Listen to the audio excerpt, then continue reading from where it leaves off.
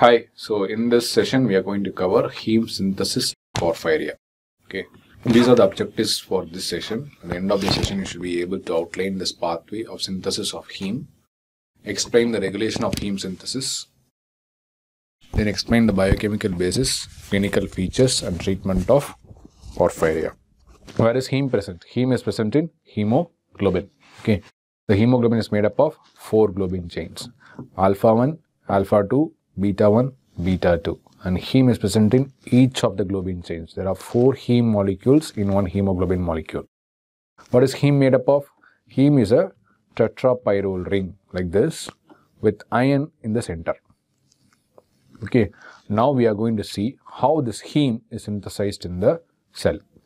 Okay, fine. So, why do we need heme? Yes, it is part of hemoglobin. Does any other protein need heme? Yes, those proteins are called as hemoproteins. These are heme containing proteins. Okay, hemoglobin, myoglobin is a hemoprotein.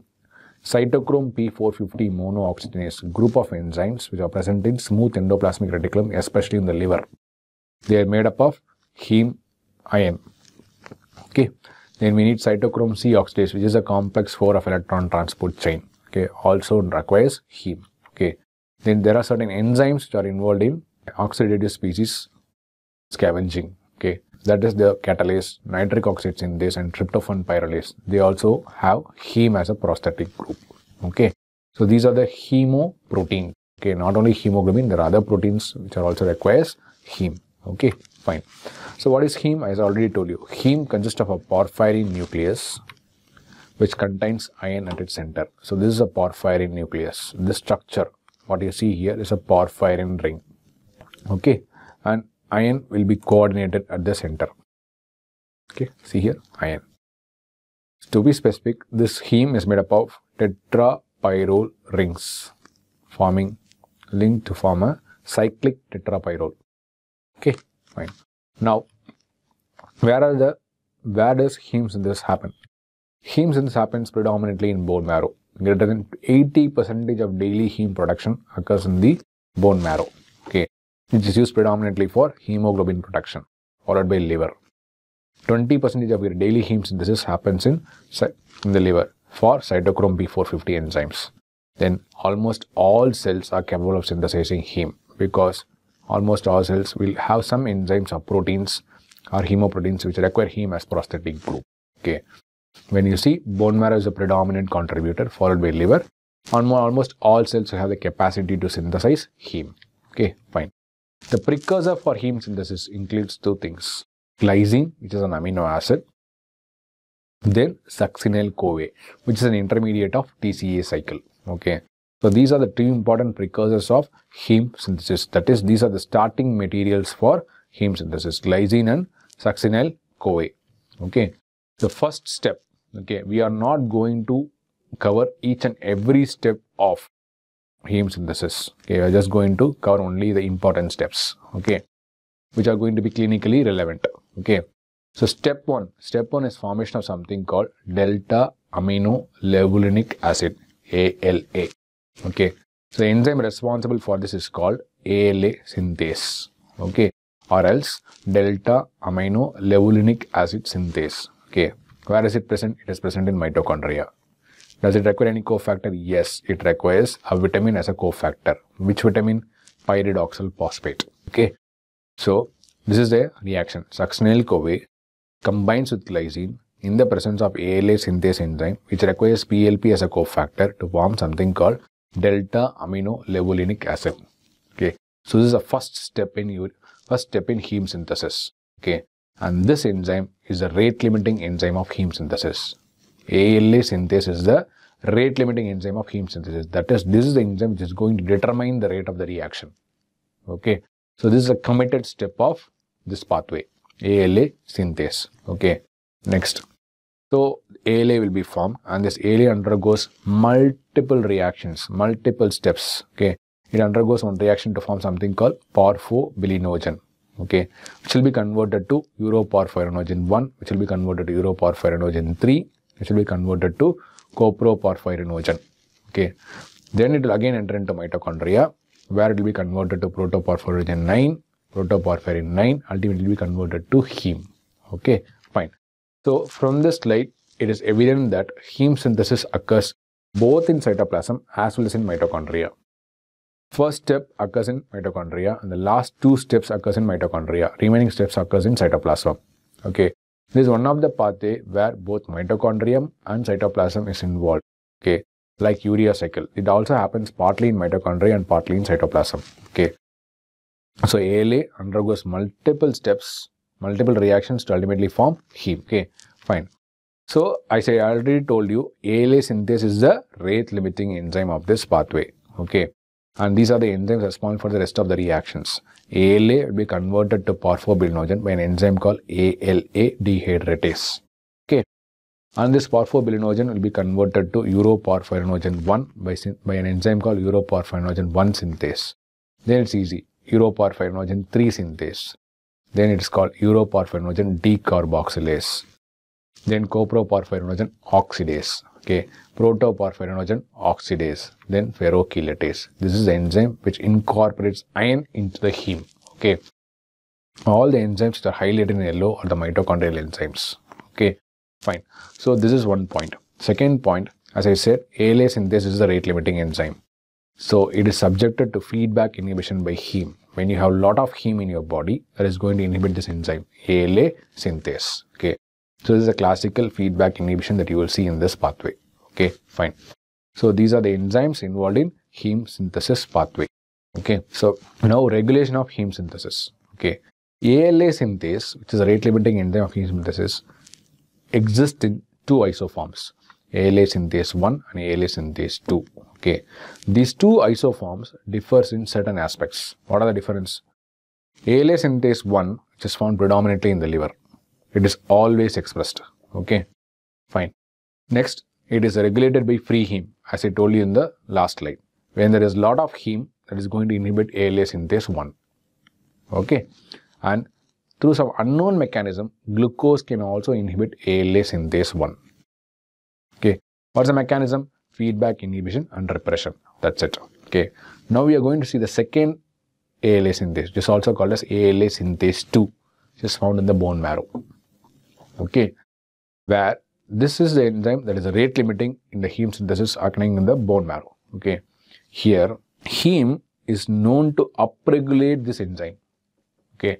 As well as the iron levels. Okay. ALA synthase 2 is not subjected to feedback inhibition by heme. Okay. This is the difference between ALA synthase 1 and ALA synthase 2.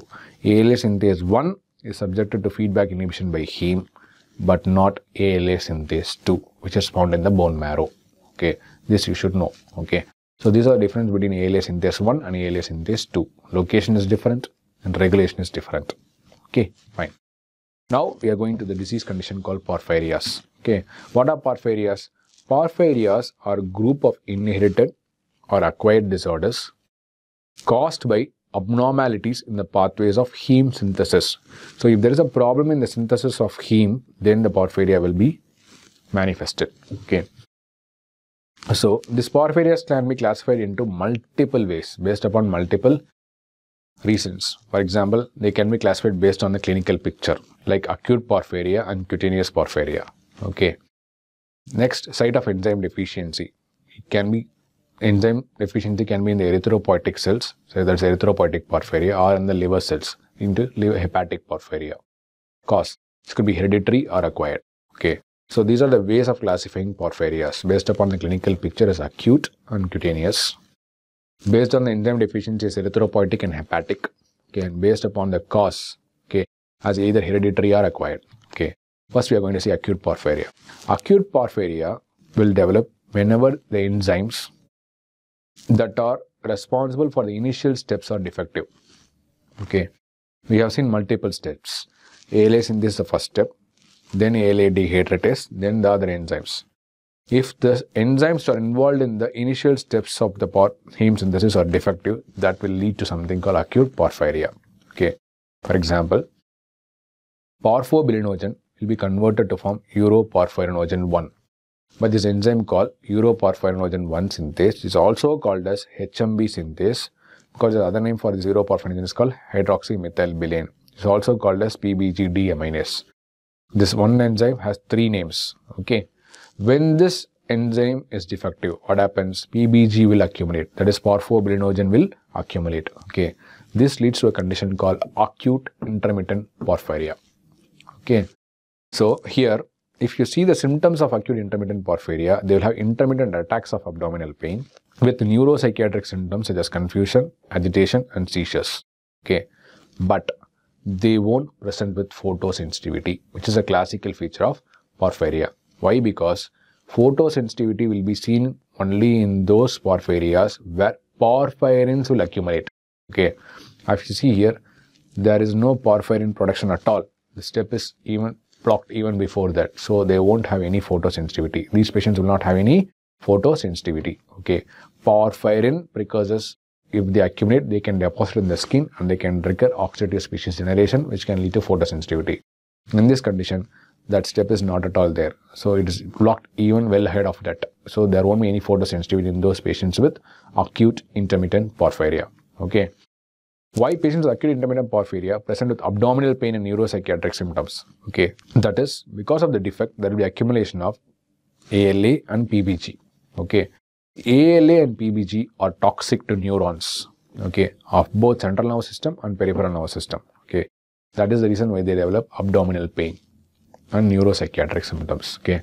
Abdominal pain and neuropsychiatric symptoms are the classical features of acute porphyria, okay. Unexplained abdominal pain, okay, unexplained neuropsychiatric symptoms are the classical features of porphyria, acute porphyria. But this porphyria will not manifest every time. Only when they are exposed to certain triggering factors, the porphyria will be manifested. What are those triggering factors? These are those triggering factors. Steroidal hormones can act as a triggering factor. Drugs can act as a triggering factor. Alcohol can act as a triggering factor. Starvation can act as a triggering factor. Okay. Patients with porphyria should avoid taking drugs that induce cytochrome P450 enzymes in the liver. Why? Because when they take the drug, which is going to be metabolized by cytochrome P450. Cytochrome P450 enzymes will be increased. The synthesis of that enzyme will increase. When that enzyme synthesis increases, heme levels will decrease because those enzymes need heme. So they take up all heme. So heme levels will come down. Okay. This, when the heme levels come down, the feedback inhibition of heme on ALA synthesis is lost. Okay. So ALA synthesis is activated. Okay. Heme synthesis is initiated. So, because of the block, there will be accumulation of again ALA and PBG. So, that will lead to clinical features. Okay, fine. So, how do you manage porphyria? Okay, management of porphyria depends upon the diagnosis first. Okay, fine. How do you diagnose them? For example, in acute intermittent porphyria, you get a urine sample from the patient and check for ALA and PBG in the urine sample. Okay, one. They will be high in the urine sample. Treatment, you give heme. You give hematin infusion. Okay, that is going to do two things. It is going to replenish the heme, which is already lacking. At the same time, that is going to inhibit ALA synthase. So attacks will come down. Okay. Then you give glucose. As I told you earlier, glucose inhibits ALA synthase by unknown mechanisms. So intravenous infusion of hematin and glucose is one of the major treatment options for porphyria. Okay, fine. That's it. Okay, now we'll go to cutaneous porphyria. Okay, I'll tell you one example of cutaneous porphyria here. Okay, so cutaneous porphyria happens and there's a block in the later stages of the porphyrin, later stages of the heme synthesis. Okay, one of the later enzymes that can lead to cutaneous porphyria is this uroporphyrinogen decarboxylase. What's the name of that porphyria? Okay, so here if you see, it is characterized by accumulation of porphyrinogens in the skin. Okay, and this porphyrinogens will get oxidized to porphyrins. Okay, so uroporphyrinogen will be converted to uroporphyrin, coproporphyrin will be converted to coproporphyrin, and these porphyrins can go and settle in the skin. When they are exposed to sunlight, they will form free radicals, which will cause photosensitivity and skin damage. That's why they have blisters. These patients will have blisters in their cutaneous skin. Okay, the name of that porphyria is called Porphyria cutanea tarda. Okay, it's the most common type of porphyria. Okay, because due to the defect in the enzyme called uroporphyrinogen decarboxylase. This leads to accumulation of uroporphyrinogen 3, okay, which will be converted to uroporphyrin, which will be deposited in the skin, leading to photosensitivity. So they have a chronic low-grade photosensitivity, blistering of skin when they are exposed to sunlight. Okay. So how do you treat them? You have to avoid exposure to sunlight. Yeah, they have to apply sunscreens to prevent photosensitivity and they have to take a lot of compounds called antioxidants to prevent oxidative damage induced by these porphyrin compounds such as vitamin E intake and beta carotene intake. Okay, this is how their skin will look like. See, they have blisters. Their skin will look erythematous because of photosensitivity. Okay, in patients with porphyria cutanea tarda. Okay, this is caused due to the defect in the enzyme uroporphyrinogen decarboxylase. Now let's go to the third classification. Okay, so that's something called acquired porphyria. Whatever we have so we have seen so far, acute intermittent porphyria, porphyria cutanea two important porphyrias. There are other porphyrias as well. We are not going to dis- discuss that in this topic. Okay. So these two topic, these two porphyrias, AIP and PCT, can be uncongenital. Okay. There are something called acquired porphyrias. What are those acquired porphyrias? One of the major reasons for acquired porphyria is lead poisoning. Okay. Why? Lead poisoning is going to inhibit two enzymes, ALA dehydratase and ferrochelatase. Okay. So these are the enzymes of heme synthesis. So that is going to lead to porphyrias. Any defect in the synthesis of the heme will lead to porphyria. Okay. So this will lead to anemia and that will lead to porphyria. That's it. Okay. Predominantly they'll cause anemia. They can also give a picture of porphyria. So that's it. To summarize, heme is made up of a tetrapyrrole ring structure with heme at its center. Heme synthesis occurs in erythroid cells of bone marrow, liver and in almost all cells. Okay. The rate limiting enzyme of heme synthesis is ALA synthase existing two isoforms, ALA synthase 1 and ALA synthase 2. Okay. ALA synthase 1 is found in the liver. ALA synthase 1 shows or is sensitive to feedback inhibition by heme and also as glucose. ALA synthase 2, which is found in the bone marrow, okay, is not subjected to feedback inhibition by heme. It can be regulated by iron levels in the blood. Okay, one. Okay. Then porphyrias can be classified into classified based upon the three types. Based upon the presentation as acute porphyria and cutaneous porphyria. Okay. Then based upon the cause like congenital and acquired. Okay. And based upon the site as erythropoietic and hepatic porphyrias. Okay. When in acute porphyrias, you'll have abdominal pain and neuropsychiatric symptoms. Photosensitivity will not be there because photosensitivity will happen only when there is a block in the pathway leading to the accumulation of porphyrins. Okay. So there won't be any photosensitivity in acute porphyria. Okay, so acute intermittent porphyria will have abdominal pain and neuropsychiatric symptoms, but there won't be any photosensitivity. One, porphyria cutanea tarda, which is an excellent example of cutaneous porphyria caused due to different enzyme called uroporphyrinogen decarboxylase. Okay, where uroporphyrinogens will accumulate, it will be converted to uroporphyrins, which will lead to oxidative stress in the skin that leads to photosensitivity. Okay, how do you treat these porphyrias? You can treat the porphyria by giving intravenous infusion of hematin and glucose. Hematin will inhibit ALA synthase and glucose also inhibit ALA synthase by unknown mechanisms. That's it. Okay.